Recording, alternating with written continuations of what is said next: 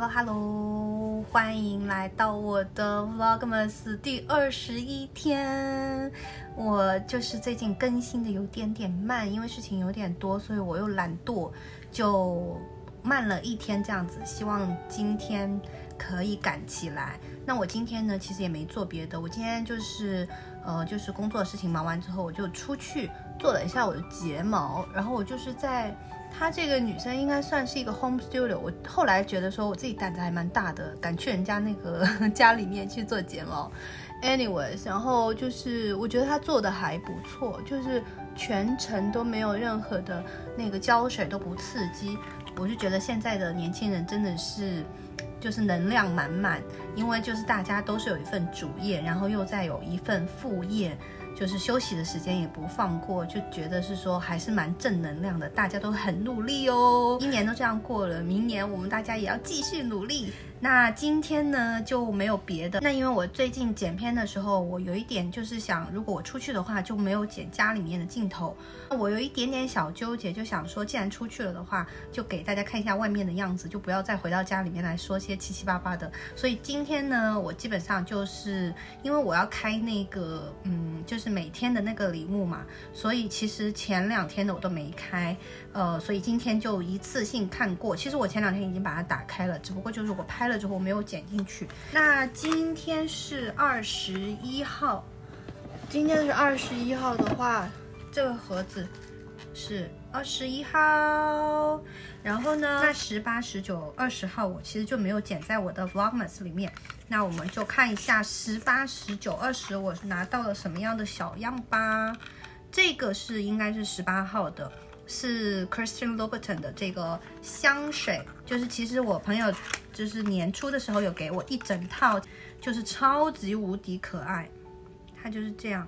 这个是一个球，然后上面是一个那个呃高跟鞋，因为这个就是红底鞋那个呃大家说什么萝卜丁的那个，然后它上面就是它的这个最经典的这个高跟鞋的这个造型，站在这颗球上，就是踩着高跟鞋站在世界的最顶端，然后它的。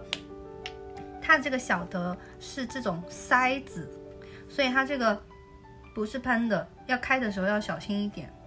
就是我收到的那一套也都是这种塞子的。我是觉得这个 l o b e r t o n 的这个这一次就是之前出的这个香水，其实都还蛮不错的。这一支站在球上面的高跟鞋，它叫 Ruby Rouge。那这支的味道的话，嗯，我觉得还行，就是是我最这个开了这几个香水当中，我觉得最最 OK 的一个味道，就是它没有那么那么的成熟，然后甜味也不是很重，但是多多少少有那种比较暖的感觉的那种味道。那十九号的话就是这个，十九号是这个 Eye Patch，然后它这个名字是呃 Patchology 这个牌子。然后它是叫做 Bubbly Eye Gels，所以感觉上是不是会像那个氨基酸的还是什么的那种面膜？就是涂上去之后你会感觉就是有起泡泡、发泡泡的那种感觉。但是因为我眼睛周围就是这一次湿疹大事件，就是从我的眼睛开始，所以我应该就是不会那么快去用 Eye Patch。我其实是一个会敷眼膜的人，但是。我应该会等长一段时间，等我的脸上都完全 OK 了之后，再去尝试这种新的这种 patch。那昨天二十号呢，就是这个开出来，这个 La Mer 的这个，它算是一个，他说是 treatment lotion，那基本上是一个 toner 啦。然后这个算是一个豪华中样，因为这个是三十毫升的一个 treatment lotion。OK，那就是最后二十一号，就是今天的今天的这个，我要把它打开。哎，今天这个是两个东西耶！哈，我刚说，我刚说完，我我自己不会买蜡烛，它就是蜡烛的这个一套 OK，就是我通常这些蜡烛都是朋友送我的。我家其实是很有很多蜡烛，我曾经是很爱买蜡烛的，但是后来慢慢的我就只买那种液体，就是自己挥发香气的。哦，它这个小组还挺可爱的。那这一支小小的香水呢，是 pomegranate，就是石榴的味道。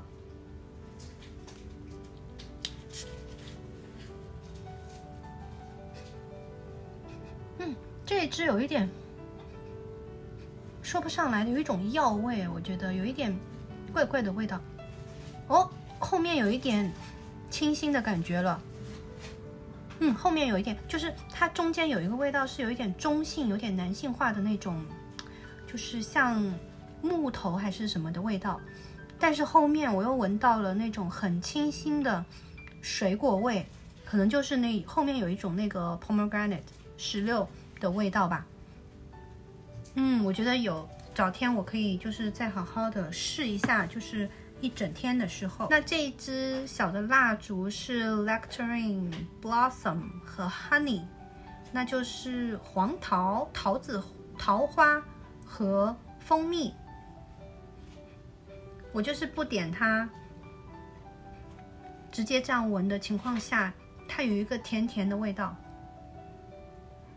好像很甜的桃子的那种桃子香，这种就这种甜味我是可以接受，但是它如果作为香水要涂到我自己身上，我可能就没有太能够接受。但是水果的那种香甜气我是 OK 的，嗯，感觉上还蛮好的。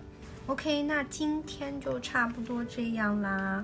我把就是我这个呃百货公司这个圣诞倒数日历所有东西拆出来，我都放在这里面。嗯，然后那个牙膏我已经在用了，然后我还有一个呃蜡烛，也点了一个蜡烛，还有一个泡澡球没在这，哦，其他的东西都在这里。我就想说，那如果有一些东西我可以用的话就用。这里面的话，我觉得 Gucci 的口红是我觉得意外的收获，因为通常这种日历啊，我是最害怕。就是遇到这种有颜色的彩妆产品，我就是会有一点担心，因为这个颜色分分钟就是不好看。目前为止来看的话都还行。然后这里面呢，就是有像这种品牌我没有用过的，我觉得还行。我并没有说特别支持大家买圣诞倒数日历这种东西去给自己。那我今年买呢，是因为我本身就是想要尝下新鲜，看一下有没有什么新鲜的东西可以让我发掘的。所以如果你纯粹就是想要看到它那个广告说，呃，价值多少钱，实际上你只花多少钱，我觉得就。就不用太在意那个价值的问题，因为圣诞倒数日历通常，特别是就是贵的那些品牌的，它都会说价值多少多少钱，其实你只要付多少多少钱，但其实它就是一个正装配很多小样。所以，如果你仅仅是因为它的价值的话，我个人觉得就不要。那如果你价值只是一部分，你看中的还是那个每天开一下那种感觉呢？我觉得是 OK，可以花这个钱。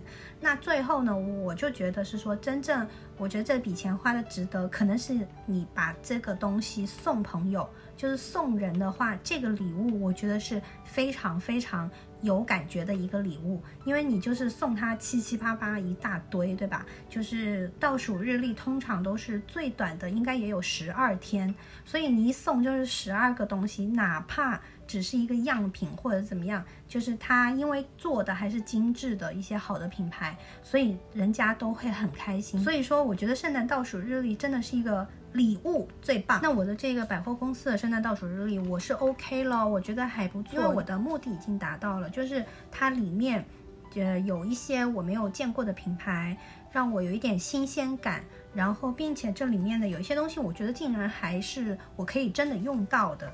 然后呢，就是还有每天可以开一开东西的那种那种感觉。我也找到了，所以 OK 啦，我觉得还不错。OK，那今天就这样啦，离圣诞节也没两天啦，我们明天见，拜拜。